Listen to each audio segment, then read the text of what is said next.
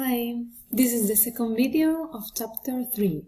We are going to talk about a rule of thumb to fix the price and the quantity that the producer should choose. Okay, so to begin, we know that in equilibrium, the marginal revenue is going to equal to the marginal cost. And we want to translate this condition into a rule of thumb that can be more easily applied in practice. So in the equilibrium, the marginal cost equal to the marginal revenue. And to do this, to do this rule of thumb, we first write the expression of marginal revenue as the variation in the total revenue when the quantity varies in one unit. And this equals to the variation in price multiplied by quantity, because the total revenue is the price multiplied by quantity, when the quantity varies in one unit. So this will be the additional revenue, the marginal revenue is the additional revenue from increasing one unit of quantity, the total revenue. What happens with the total revenue? And this additional net revenue from increasing one unit of quantity has two components. The first component comes from the idea that producing one extra unit, this one extra unit, and selling it at a price of P will bring in revenue P. Okay, so if I multiply one unit by the price, the revenue will be the price. Exactly the price. And the second component comes from the idea that as the firm is going to face a downward sloping demand curve, producing and selling this extra unit also results in a small drop in price.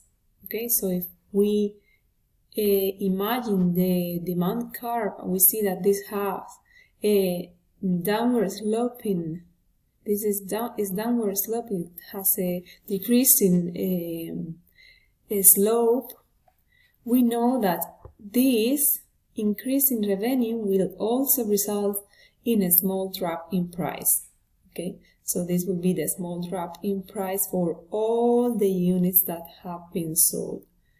A small decrease in, in the price by the units that have been sold and this will reduce from all units sold, there will be a change in revenue equal to the number of units that are sold by, multiplied by this decrease in the price because the price will be lower as the quantity exchange increases. The quantity demanded increases, so the price is lower. This, this change here will be a negative change. It will be a drop.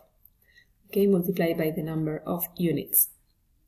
So at the end, the marginal revenue can be rewritten as P plus first component plus second component Q multiplied by the variation in price when the quantity varies in one unit.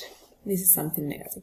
So if we multiply and divide the second component, this part, by the price, I multiply and divide by the price, all this, I can see that here I have the reciprocal of the elasticity. So this part will be now 1 divided by the elasticity of the demand.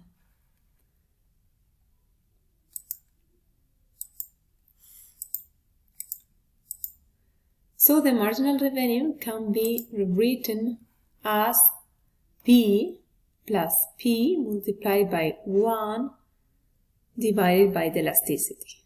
This is the part of the second component.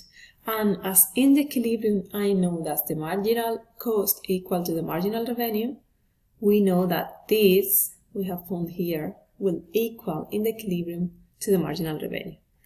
So if I extract on change here, I can extract the price, for example, it will be price multiplied by 1 plus 1 divided by the elasticity and in the other side of the inequality we will have the marginal cost. So if I extract the price, it will be marginal cost divided by 1 plus 1 divided by the elasticity. And also we can rearrange like this. It doesn't matter which of them you will like to choose.